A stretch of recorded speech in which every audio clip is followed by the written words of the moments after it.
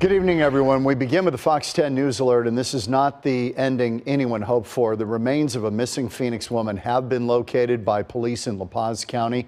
37 year old Irene Luevano was last seen early Sunday morning with her boyfriend. He's been arrested on unrelated charges and is now accused of murder. Fox 10's Justin Lum live at Phoenix Police Headquarters, where they just briefed reporters on what happened today and where this investigation stands. Justin. Yeah, John, we just came out of that news conference with Phoenix Police.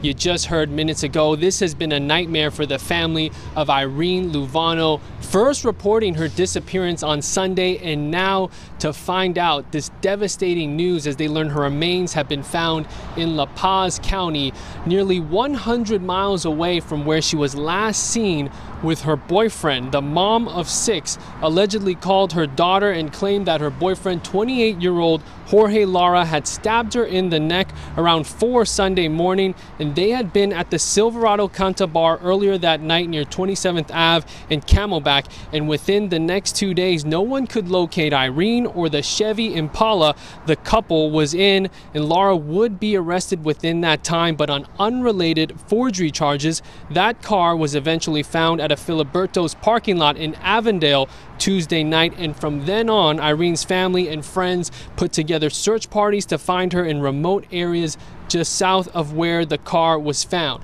Now, today, police say they discovered Irene's remains, her body with obvious trauma off Hovatter Road and I 10 in La Paz County. Again, that is 94 miles away from that bar Irene and her boyfriend Jorge Lara were at Saturday night.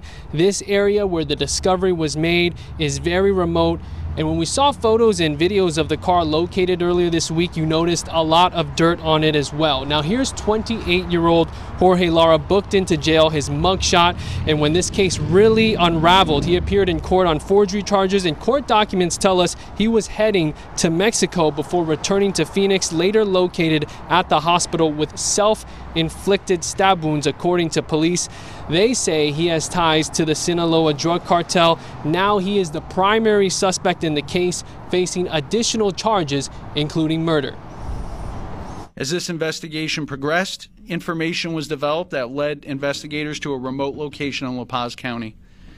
After an extensive search, Irene was located in a desert area just after 10 a.m. She was deceased with obvious signs of trauma. Now, as you can imagine, the family of Irene Luevano devastated, heartbroken. She leaves behind six children, and this family has been searching relentlessly for her all week, calling out to the public and news outlets to find any clues, find any leads to find their loved one. Our hearts go out to them tonight. Live at Phoenix PD, Justin Lum, Fox 10 News.